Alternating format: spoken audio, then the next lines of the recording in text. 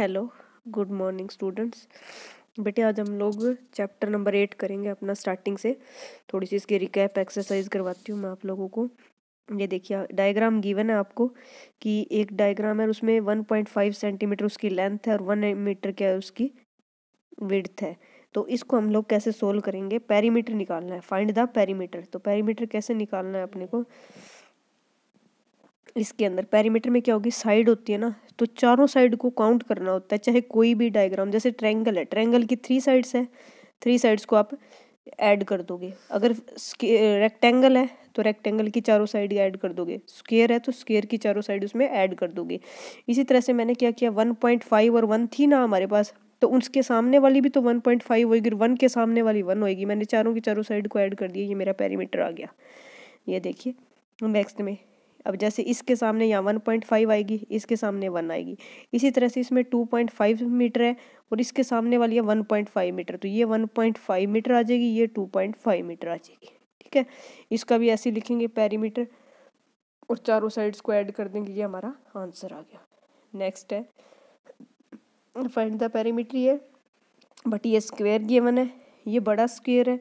तो इसके अंदर क्या है? इसकी एट एट एट दे रखी है चारों की चारों तो मैंने सेम इसी सिचुएशन में क्या कर दिया इसको?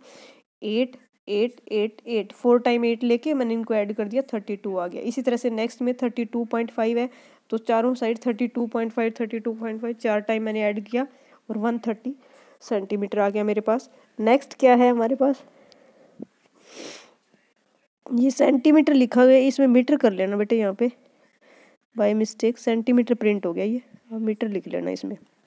नेक्स्ट है थर्ड क्वेश्चन थर्ड क्वेश्चन पे चलते हैं। ये देखिए यहाँ पे सेंटीमीटर में गिवन है कि ट्वेंटी फोर सेंटीमीटर एक साइड की है, फिर थर्टी सेंटीमीटर है ट्वेंटी फाइव सेंटीमीटर है ट्वेंटी सेंटीमीटर ये देखिए मैंने फिर इसको क्या किया?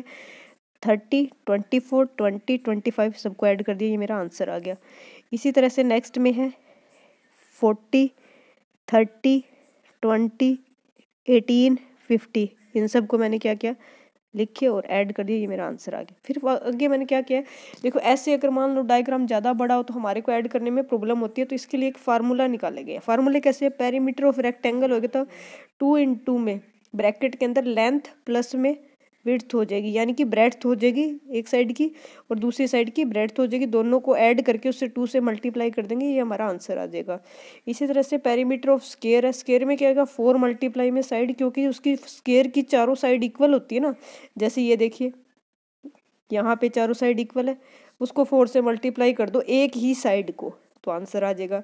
इसी तरह से पेरीमीटर ऑफ़ ए ट्रैंगल है। उसके अंदर सम ऑफ़ थ्री साइड्स तीनों साइड्स का ऐड कर दो। वही हमारा आंसर आ गया। ये हम नेक्स्ट वीडियो में करेंगे एट पॉइंट वन एक्सरसाइज में।